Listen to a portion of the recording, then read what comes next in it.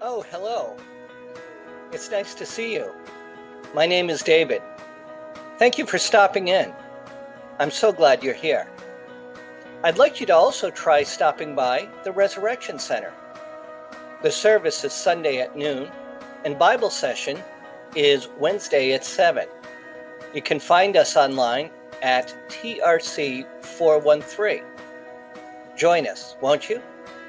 I'll be so happy to see you again.